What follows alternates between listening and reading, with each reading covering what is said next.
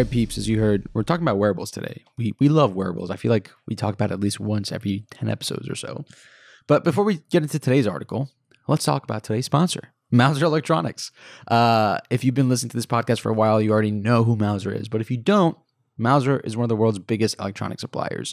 Now, what this means is that they have great connections with uh, industry partners and academia, and occasionally they write about the things that they know is happening on the leading edge of technology. Now, one article they wrote about that I think is incredibly relatable to today's episode is smart clothes and how they might be the future of healthcare. Um, in this article, they talk about e textiles and how they're a very small market right now, but there's a lot of potential to them. And then they start digging into the potential. They talk about how right now, when a patient is in the intensive care unit or they're just, you know, having a hospital stay, obviously you want to check a lot of vitals. Some of those measurements that you want require big, heavy, um, equipment that a doctor or a nurse has to be, you know, functioning at all times, which doesn't really scale well, scale well, and it, it requires a lot of resources. It's very costly. So, what if we could use IoT? We could use sensors to just monitor a patient passively, and if there's an any issue, we kind of raise some sort of indicator that has the nurse or doctor come and take care of the patient. Well, that's what you get. That's the advantage there of this wearable technology. Is you get convenient, constant, round the clock monitoring when doctors can't provide that level of attention mm-hmm. and then it, it, kind of can flag doctors or medical professionals to, to say this is the person this is the pers- part of their body that you should focus on right? Allowing them to apply a bunch of extra leverage to what they're doing basically giving them a heat map. These are the nine patients that are healthy. This is the one that needs your attention right now. Um, and that i'm sure will result in improved outcomes in the medical space for a lot of people. Obviously i'm personally interested in like hey, maybe there's a way that I can get a, a, running tank top that highly instruments me and understands what my body's doing during a run and can help me measure my performance as well, which is a little bit different from the medical space, but I mean in the like the lifestyle and, and training space as well. Yeah. And one thing that I think is also interesting is you might have a small hospital that can't afford a hundred thousand dollar piece of equipment, but they could afford like a couple stickers that are worth a hundred bucks or a thousand bucks per package that can be used on a dozen patients. Well, and let me let me one up you there. One up me. Mouser, obviously, like we said, electronic supplier. They bring the knowledge base as well. One of the cool things that I like about what they do is they're like, hey, if you want to start this project, here's the one piece you need. And in this case, they've linked uh, Adafruit manufacturer part 659, which is a $14 chip that's sewable into textiles um, and is fully featured to do all sorts of things like health monitoring, et cetera. And it costs 14 bucks. There you go. That's why we love working with Mouser, right? Not only do you get to learn about these things, but right away you get your uh, weekend project going. Yeah. All right, with that said, let's jump into today's article. Um, we're going to MIT. Now, this is an interesting one. They've created this small ultrasound sensor back in 2022. The idea was kind of like what we just talked about with the um, um, the e-textiles in hospitals. Is if there's a way to easily image uh, what's going on inside of a patient's body, it would be great. But previous attempts at creating a small flexible sensor that could do that all just kind of failed.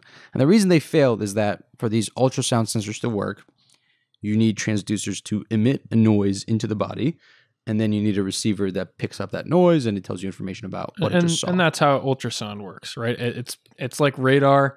Um, you're you're sending out sound waves into the body and then measuring or collecting the image of the reflection of those sound waves as they come back and generating that into a picture that you can tell hey this is what looks this this is what it looks like what's going on inside your body. Exactly. So that that was like the goal that everyone was trying to kind of hit. The reason they were having issues with this is once you make that sensor flexible there, there's like bends that happen and those transducers and receivers they start to bend and there's distortion in the data that they're sending and picking up, which means you're not actually getting any sort of a good image. So back in 2022, these folks um, addressed this distortion problem by their secret sauce. And there's you, you want to talk about the secret sauce? Or no, go ahead. All right. So their secret sauce was instead of having this sticky adhesive that is directly connected to the transducers, which is allowing it to bend, let's layer it up you have the base layer, the adhesive that is sticky, that goes on the body, that's flexible. And then you have a layer on top of that that's a hydrogel. It's a water based um, membrane, which allows those acoustic waves from the transducers to get picked up and go out as clearly as possible. And then on the top layer, you have the solid transducer array, which is not bending.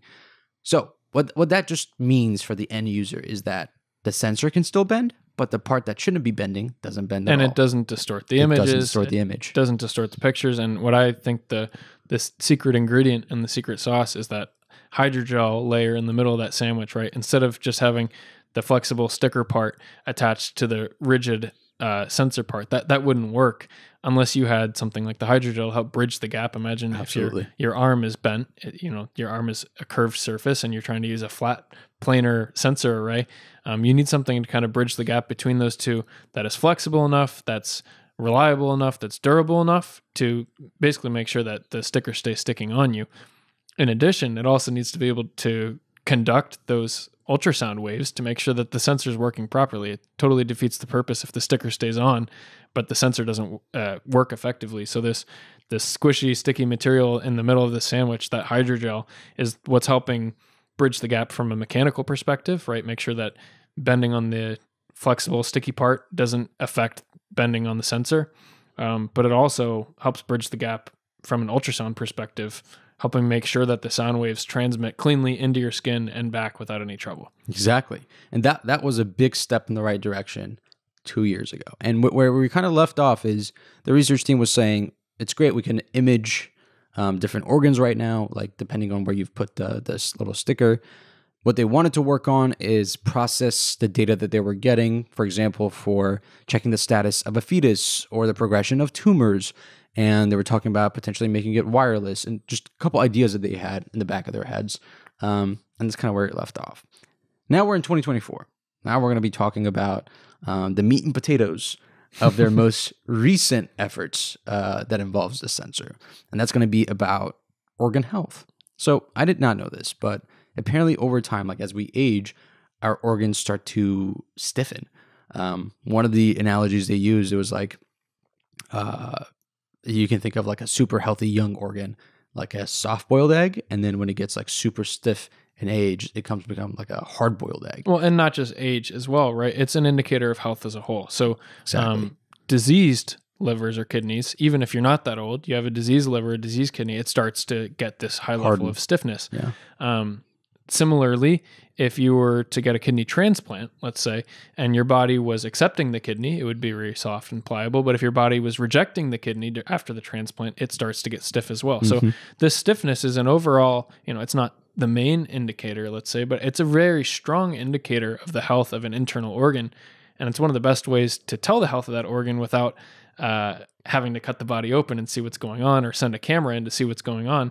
You can use the stiffness of an organ as a proxy for the health of the organ overall. And that's basically what they're doing here is they're saying, um, hey, if I've got this stiff organ inside the body, let me see how the ultrasound waves reflect off that and understand the image versus if I have a soft, flexible, pliable organ inside the body, how do the sound waves reflect off of that? And they can monitor changes in stiffness over time by monitoring the changes in the sound waves over time to see if the organ's getting healthier or less healthy. Um, and I, I think it's like an awesome application of the platform they designed before, but now it's this groundbreaking technology that's got the opportunity to change healthcare as we know it. Yeah, well, it's it's funny, you know, you, you brought up the transplant and this process that you're talking about, sending the sound wave and making sure that it's not stiff over time. That's exactly what's being used without these stickers in hospitals right now. So they use an ultrasound elast- elastography machine, um, and the, they say the first 72 hours of the transplant are the most important. So you have a an operator like a doctor that's sitting there and checking the health of that organ. I'm guessing in like regular intervals to make yeah, sure that like there's no let's say every couple hours, the doctor's going to come in and hold a probe to your body, but there's no way of doing that right now continuously. And one of the things that they said is like, say after a kidney transplant, um, you want to have a really fast response if the body starts to reject it. There, you might miss that cru- crucial moment, realize too late that the organ's failing, and then at this point you've gotten like a failed kidney transplant, which has massive ramifications to the person, the patient who had this kidney transplant. Also, the fact that they probably waited on a list for a long time to get an organ. Right, those those It's just a waste kidneys in, in specific are ones that like there aren't a lot of supply to go around to help people with a transplant. right. You want to make sure that we're getting the highest highest yield as possible out of these these surgery scenarios. So um, you've now got the opportunity to do continuous, round the clock, constant measurement, constant monitoring. Let's say of something like how elastic these organs are, and like we said at the beginning when we were talking about wearables um, with Mouser, right? This this kind of gives doctors a heat map of when and when they when they should and shouldn't Exactly. have to intervene. You get to prioritize that, right? Because you have patient A, who, who might be Daniel, who's doing perfectly fine, and you're constant checking in that might take up, you know, 10% of your time during the day. That's not required anymore. And that attention can go somewhere that's needed. In addition to that, like you said, during that period between the check ins, if there's a failure happening, you can just completely prioritize that, make sure that's taken care of, and try to remedy it in any way possible. So that it's giving us like kind of the best of both worlds. You free up their time and resources, and at the same time, you're actually getting a better analysis of what's happening in there.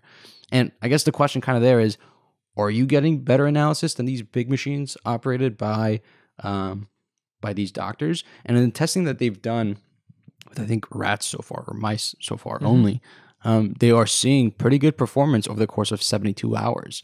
And that's again, I think 72 is or 48. I think it's 72. 72. So that, that the duration that is most important for transplants, like if that's the application that we're gonna say is the most important one, um, they're seeing pretty good results on animal experiments. Well, and what I was going to say is, as a patient, right, especially using again the kidney as an example, um, say you just had a kidney transplant, you're obviously in pain. That's a pretty invasive surgery.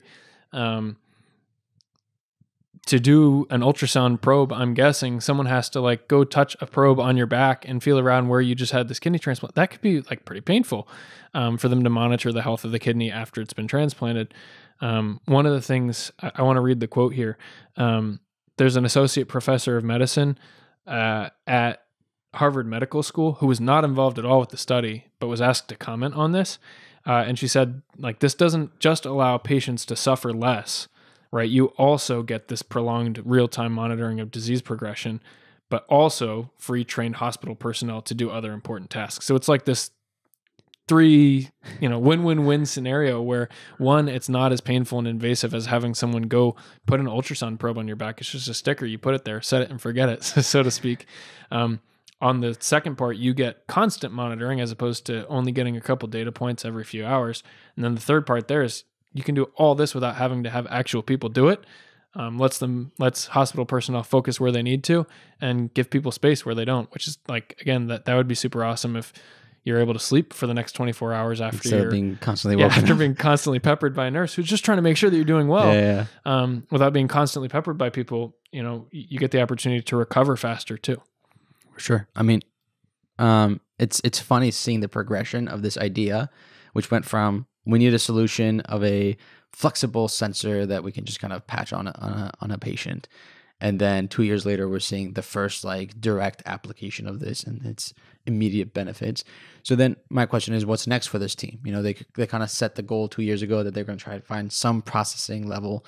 Um, they already did that, and from what I can tell, and the feedback the the research team gave is now I think this thing is still wired. It's still not wireless. Um, they want to focus on making it an all-in-one solution where you have, you know, the sensor that's on you, and then another like compartment that you can also wear that has the Power module. processing, power module, everything else that's required. So I don't know. This is this seems pretty process, promising. And if I was a patient at a hospital and I needed to have a transplant or anything done to my organs, this is the kind of um, detailed data I would want to be gathered instead of the periodic check in to make sure that my health is doing well. But in addition to that, I think it would also be nice to have, even if you're not a patient that's in a hospital, for example, if there's a, like there's benign tumors, right? If you could have something that monitors your body over the course of the year, because usually you're checking in with your doctor during your checkup, and it's an annual checkup, that is able to provide that level of feedback of like, yeah, the benign tumor has not grown, everything is good instead of you know if worst case scenario it is growing and you don't catch it for a full year um, being able to spark your doctor and be like hey you need to come in right now Well, that really that's nice. one thing I I thought about for sure. Right? They mentioned like you can send a patient home faster. Mhm. Right? Doctors. You know, maybe after kidney transplant, they keep them in the hospital. I, I, I don't know. I'm making this up, but they keep them in the hospital for three, four days to make sure that they're okay after that. Um, maybe after this, you could be like, first 24 hours, we're going to make sure you're okay. Then we're going to send you home and we're going to be remotely monitoring your vital signals to make sure that this kidney transplant is going well. That's Right. awesome, right? Sending people home, reducing hospital costs. I, I have a loved one who's like just had a major medical procedure, and one of the most frustrating parts for him was like staying in the hospital for a long period of time after he felt like he was like just ready to go home and be home with his dogs and stuff like that. Um, in addition to that, um, like you said, just doing at home disease progression monitoring, doing preventative health monitoring. Um, I think about things that most people dread about going to their doctor, especially as they get older, like f- with men, like a prostate exam, and for women, their mammogram. Like those are really pretty pr- invasive, from a privacy Yeah, yeah, yeah. perspective, but they're just preventative health, trying to make sure that you don't end up with something that makes you sick. I could imagine the much preferred alternative to this being just like, hey, your doctor's going to send you this sticker in the mail. You got to wear this sticker on you. Um, you. You put it on once a month and it sends this data to your doctor, and your doctor can tell you whether you need to come in or not. It probably increases the amount of early catches that we have and then also decreases the amount of invasive procedures that people have to have on a regular basis. One of the things I thought in general too is there's like, do you know Brian Johnson? Yes, the Blue- guy who's blueprint guy. He's yeah. like his motto is "Don't die." yeah. I could see him totally using something like this, like to just adhere a couple stickers to his body. Maybe he's already using something similar, you know, once a week and check in with your doctor. Then you can measure all these vital signals, track the health of all your major organs within the body without having to do like a huge, you know, three hour full body scan or anything like that, or even having to go in and check in with the doctor. You could just, you know, put a sticker near your heart, put a sticker near your kidneys, put a sticker near your liver, and make sure that everything's working well. And you can check it on your phone every single day, like I do my sleep score with my Oura ring. You know, if Brian makes a tweet or an announcement that his liver is working like an 18 year old, I'm gonna take that as a sign that he's listening to this podcast. Yeah, so. maybe he is. yeah. But yeah, in, in general, I I'm I'm pretty excited about like the uh the impact that this project can have. And I'm happy to see its growth. Again, like two years ago, the first step, big step, and then now you're seeing its progression. And I'm curious about what the future holds for it. Hopefully this thing isn't just something that's kept in the lab. It actually ends up making its way through human trials if human trials are needed. And then uh, it can be a common item that you find in a hospital or even for your doctor to tell you to take home with you. With that said, is it time for a wrap up or is there anything else we need to talk about? Yeah, man. I just before we do that, one thing that stuck out to me is I'm like, is this like what Elizabeth Holmes and Theranos finally promised? like their thing was like, we can take a couple Blood. drops of blood Yeah. and tell you the whole the health of all your organs inside your body. Or I also thought about the medical tricorder in Star Trek. Um, Doctor McCoy is able to just like with like a tiny drop of blood scan exactly what's going on inside the body. Jarvis can do it for Iron Man. Be like, oh, like your your heart is failing, right? I'm wondering if like if this is the real life version of those sci-fi. Well, I guess Theranos wasn't sci-fi. That was just a lie. That was just, yeah, it was imaginary. Um, but if this is like the real life manifestation of this technology from science fiction, That's a good point. just turning into science, not fiction. like we- wearables being diagnostics. Yeah, that's a good point. Maybe, maybe we're almost there.